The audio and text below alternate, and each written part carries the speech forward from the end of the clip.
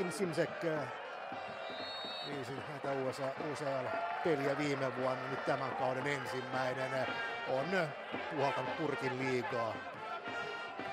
Liikaa myös sitten kansainvälisiä näitä U17-otteluita. Viime kauden on kaksi EM-karsinta peliä.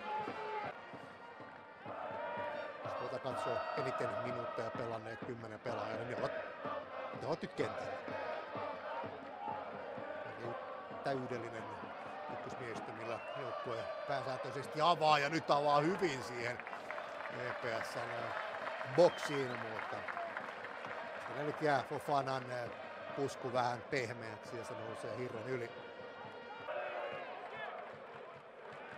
Karasima, mutta sitten lähtee PPS, Cleofilo Fleiter ja mitä tekee sitten Fleiter ja alat käyvät ja veto lähtee sieltä, mutta tämä on Arpat Koranheiniä. Ardain pystyy tämän torjumaan, mutta hyvin lähtee sieltä nyt Leofilo Fleiter tässä nähdään. Vasemmalla matala laukaus. Ja ensin pistetään siinä vähän jekkua peliin, sen jälkeen matala kuti. Nyt on, nyt on tilaa siinä, mutta syöttöyritys Antalille ei mene perille.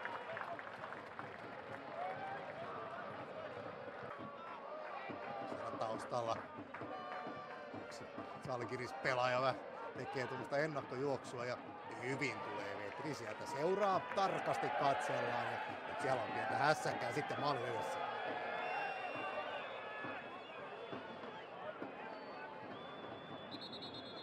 Isäntä Niemi käskee. Nyt täytyy lähteä pois täältä.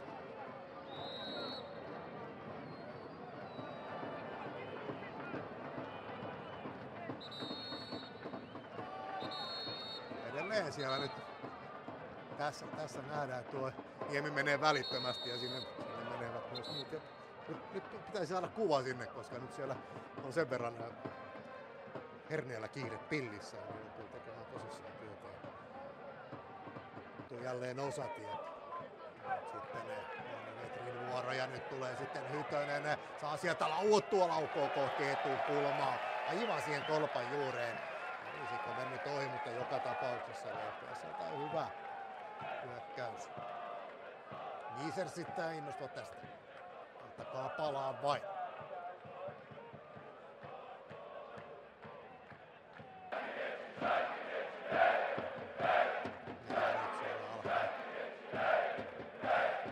Salkirisin päädyssä. Nyt mikäs pomppiminen.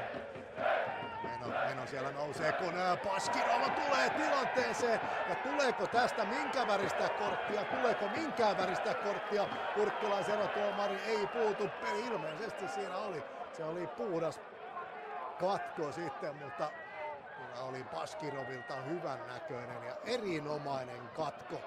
Mutta siinä ei sitten ollut tässä nähdään. Kyllähän tuossa ei mitään muuta ole kuin riketti. Siinä ei, se ei osu palloon missään vaiheessa Kendisin tulee, ei mennyt pallo päädystä pihalle.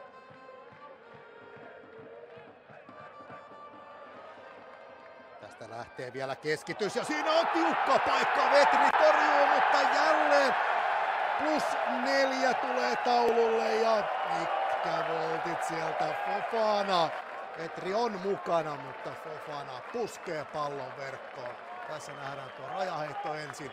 Sen jälkeen sieltä lähtee keskitys ja se tippuu hyvin Niemi. Siinä on iholla puolustaa tilannetta, mutta Arava Fofana nousee korkeimmalle ja puskee Vetrin torjunnasta pallon maaliin.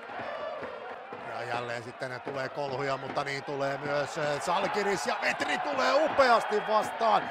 Ja nyt saa siellä, nyt en nähnyt onko siellä, kuten sanotaan nyt tällä jaksolla vielä, onko nyt Antal siellä, on eh, pitelee jalkaansa. Turkkilais erotuomari näyttää, että pallon välissä Bahattinen Simsek. Petri käy siellä vielä katsomassa, että kaikki ok.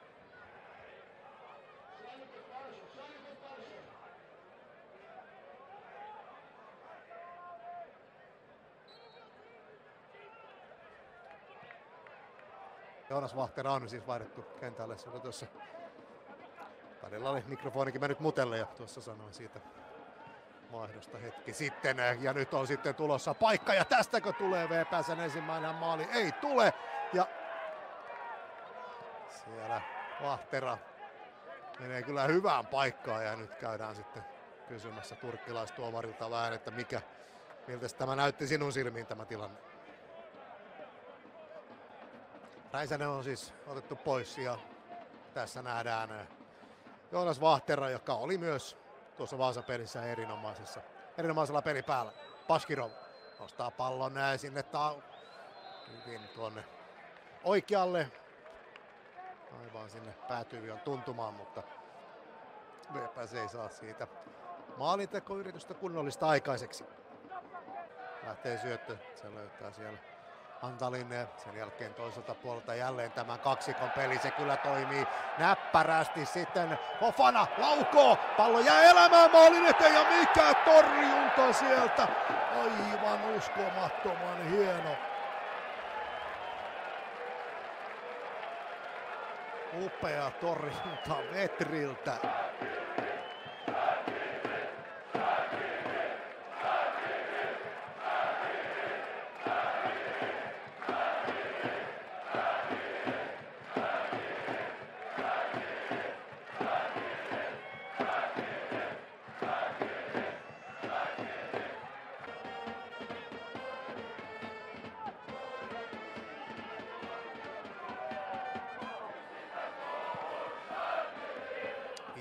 5-2 laukaukset. Mutta nyt VPS tulee Engström, hyvä syöttö sinne ja nyt oliko tilanne sitten paitsi jo kyllä siinä muutamiakin kertoja on nyt sitten Paskirov ollut siellä menossa pahan tekoon ja on löytänyt itsensä kentän pinnasta, kuten tässäkin. Kyllä se paitsi on.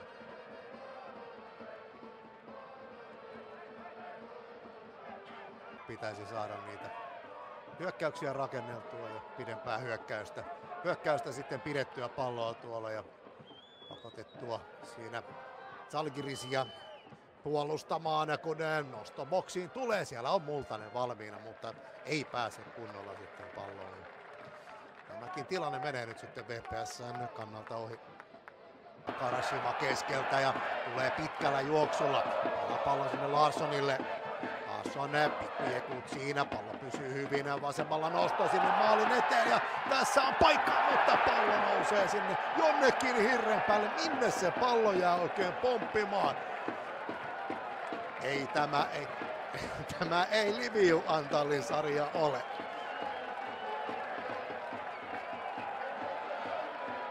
Tässä nähdään, siellä se hirressä käy, sen jälkeen se pomppaa vielä, siitä tulee kierre, joka pomppaa vielä tolppaan. Onpa erikoinen ja Antal katselee, että pyöri nyt sisään. Jo. Saa pidettyä pallon kentällä ja sieltä nopeasti VPS koittaa kääntää, mutta näin se tulee siihen keskiympyrään ja sen jälkeen Bahatin Simsek päättää tämän ottelun ja päättää myös tämän ottelusarjan. FK Salgiris voittaa tämän ottelun 1-0 ja Kuisa voitti Vaasassa lukemin 2-1. Se etenee tästä jatkoon Euroopan konferenssiliigan toiselle kierrokselle yhteislukemin 3-1.